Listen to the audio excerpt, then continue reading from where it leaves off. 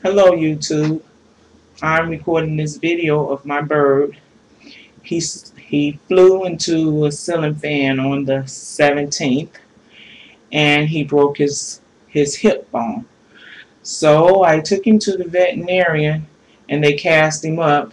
Today is now the 7th, the 7th of um, September and he just got his cast off of him. They didn't expect him to live because he's always been such a small bird. I've had him for 12 years now. His name's Pretty Boy. Well, he just got back from the vet. He was panting really, really bad. And as we left, they still didn't expect him to live. He's out of his cast now.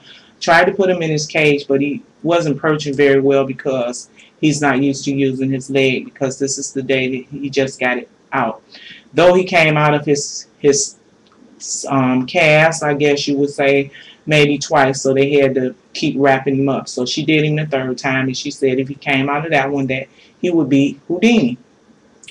So he stayed in that one, and he's out now, and he's pretty much cleaning himself because he's so happy to be a free bird now. And they gave me little hope still when I left the veterinary in the day. But I know my bird. So they gave me medicine to give him when he was ill. And they really didn't expect him to live long so they gave him a little pain pill medicine which was supposed to last for two weeks but it only lasted a week because they really didn't have any hope. They tried to rip me off I believe.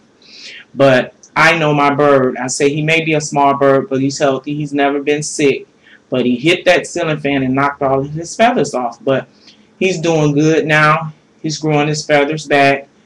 He's a little under the weather, as you can see, but he's a little busy there. His leg is not broken now. He just has to get used to using it again. And um, he's moving around. And like I say, they still didn't expect much of him. Didn't expect him to live. And I pray that he does live, but he's made it through the most part because his accident was on the 17th of August and it is now September 7th. So he's still pretty much making it. Pretty boy. So let's see. Move there. Pretty boy. Come to the cameraman. Let him see you. He's he's still a little active here. Say hi, pretty boy. Say hi. He doesn't look quite well, but he's fine. And his little breast up here is kind of small. So I've been hand feeding him. But as you can see, he's he's still living. And I love this bird. I've had him for so, so many years. And like I say, they didn't expect him to live. I beg to differ. I think he's going to make it. But God has to say so, not man. They put him on oxygen before he left wanted to charge me $40 for our oxygen. And they also wanted to tube feed him and charge me $50. But I feel like if I brought him this far, I should be able to make it through. And like I said, his little feathers are pretty much, if I can do this here, and that's his little leg that was broken, which would be the right one, which he's using it now. I believe it's this one.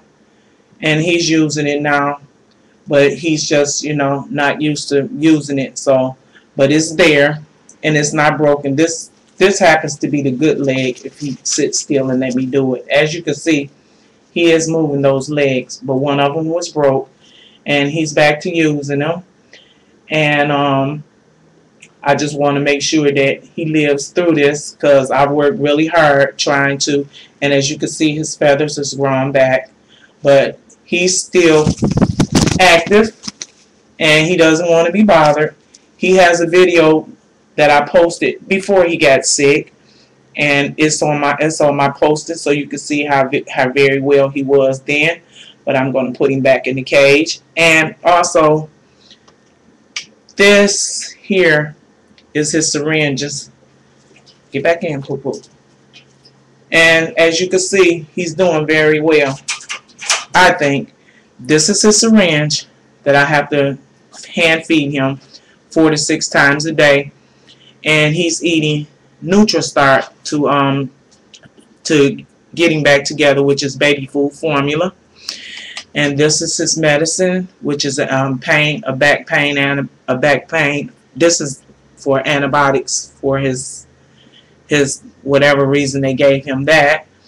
And this is his painkiller that they gave him. If I can get it there. And this is his pain kill pill. So he's getting hand fed. And as of now, he's still living. And I want him to continue to live because we've came so far together. He's also in my dog's kennel. They wanted me to keep him in the little carrier that he was in because they didn't want him to move a lot, but I felt that that was entirely too small to keep him caked in. So I put him in the dog's kennel, which is padded, and he appears to like it. I tried him in his cage today because he haven't been in it, but he wasn't approaching very well, and I don't want him to have to use a lot of energy trying to get himself back together. So I put him back in the dog kennel. So that's where he is, and he seems to be happy there. But again, like I say, the doctors gave me very little hope with this bird. When he went in, he was only 80 grams. He's lost a couple of grams since then because he's like 73 grams now. But this is a strong bird.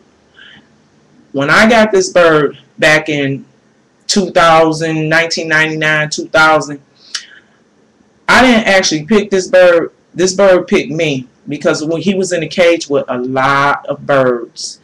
And when I came to try to buy a bird, he just flew on the cage and it was like he was saying, pick me, pick me, go, I want to go home, I want to go home, which I really think that he wasn't eating a lot then because when I brought him home, he stayed on this food dish for about a week before he got off of it as if he didn't want anyone to be bothered with his food at all.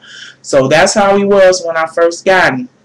Feathers was kind of messed up, but it was just something about that bird that made me bring him home. He didn't appear to be sick because his anal glands and everything were clear. He didn't have any mucus or anything there.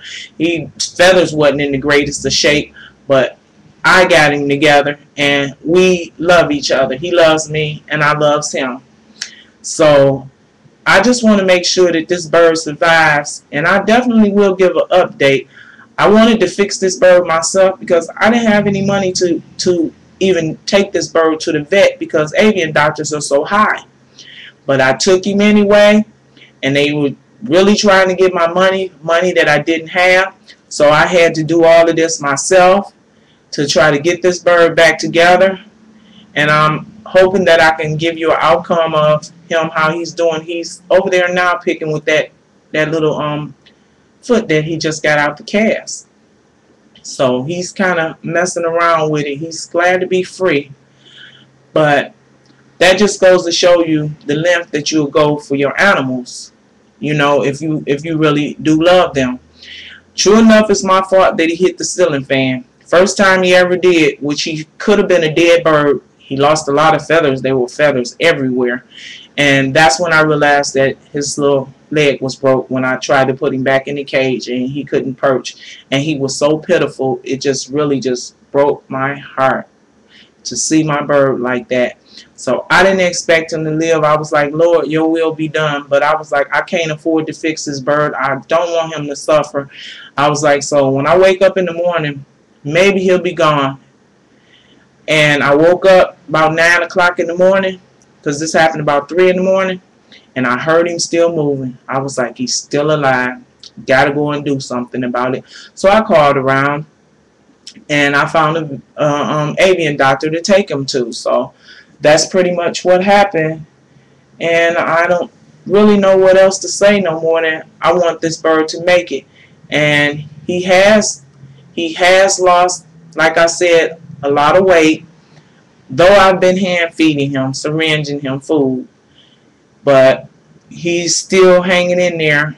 And the doctor said if he's doing what he's doing now, like um, groom, grooming himself, which birds don't usually do when they're in distress, and she said because he was such a little bird that he had very little chance of living going through the traumatic broken leg. But it's been 22 days now, and he's out his cast, and he's still living. And I would love to give you an update for you can see him the after in his cage. And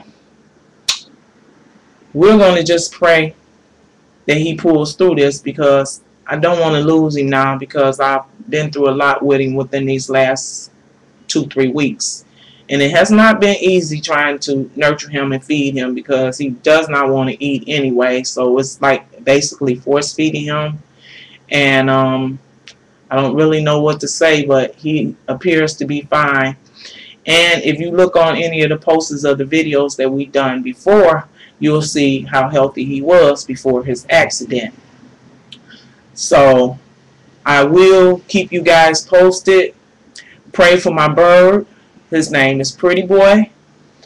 And I really do love this bird. We've came a long way. Bird never been sick. He's well, he's went to the vet once before when I first got him. And that was because he had a little runny nose or something. So I was concerned. They put him on antibiotics. He's never been back to the vet except for this incident, which is in 2011. So that just goes to show you that just because he's a small bird doesn't mean anything because he's been healthy and never sick.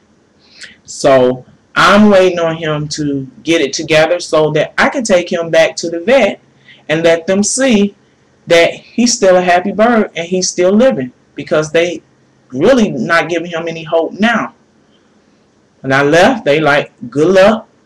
And um, hopefully he'll live, but I don't see him pulling through this.